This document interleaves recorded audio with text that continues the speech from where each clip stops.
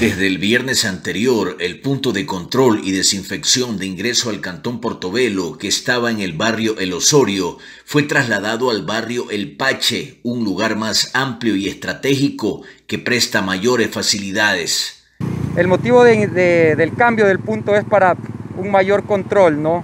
y mayor comodidad para las personas que ingresan y salen de Portobelo, puesto que en el punto de, del Osorio era un poco más congestionado. Aquí, como se puede dar cuenta, es un poco más la vía más amplia, donde podemos realizar con mejor labor nuestro trabajo, ¿no?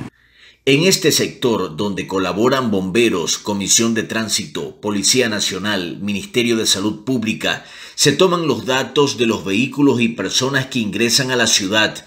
Además, se realiza la respectiva desinfección acciones que son bien recibidas por los conductores. Nosotros estamos funigando a todos los carros que, ingresan al cantón. Estamos desinfectando con un producto que se llama Biodrops eh, a los vehículos, a las motos y a, a todos los, vehículos que ingresan. Chévere, bacán, porque ahí puede controlar la gente que entra de Zaruma hacia Portobelo y lo que sale de aquí también para arriba muy bueno aquí para total controlar acá todo para que no se caiga contaminación, nada de eso. Realmente que uno baja del campo, o sea, no salir limpio de acá abajo, ven para arriba.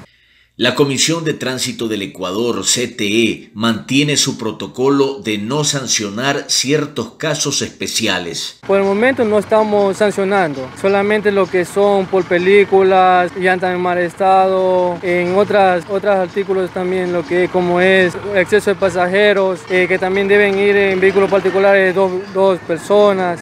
Así, el COE cantonal de Portobelo busca impedir que se siga incrementando el número de contagiados, cuyas cifras de momento nos hablan de 21 casos, 6 recuperados y 3 fallecidos. En Portobelo, José Daniel Erdoiza, Noticiero TV Oro.